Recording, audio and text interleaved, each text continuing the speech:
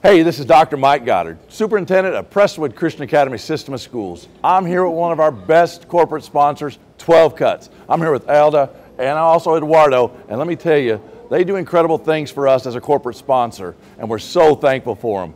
And this is your Minute with Mike. Ooh.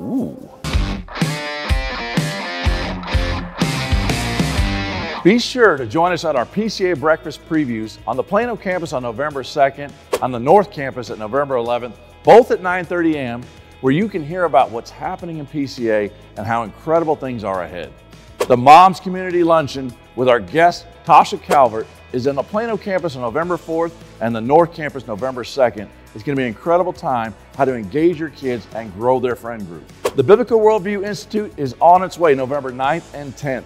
This year's theme is civility, teaching our kids how to work within a biblical worldview and be a light in this world. The Journey podcast is this week, and make sure you listen to it because the King's Academy Head of Schools, Dr. Shalindra Thomas, is on it, and it's an incredible story about what's happening on our South Dallas campus. We have a joint chapel coming up on October 28th for our 7th and 12th graders. It's going to be with Jay Stringer, who does a phenomenal job. He's an ordained minister, and he's going to be talking to our kids about the choices they make and the importance of them. The gift of Christmas is here. It's one of my favorite things. And you can get early access starting on October 29th.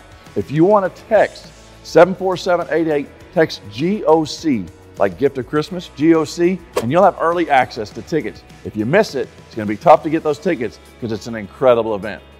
And our Lions continue to do amazing things in volleyball, cross country, and football. Make sure you continue to support them and see the amazing things that they do as they represent us not only on the fields and the courts, but in the classroom and out in our community. Let's be reminded as we get to a busy time of the year to keep our priorities of loving God and loving others.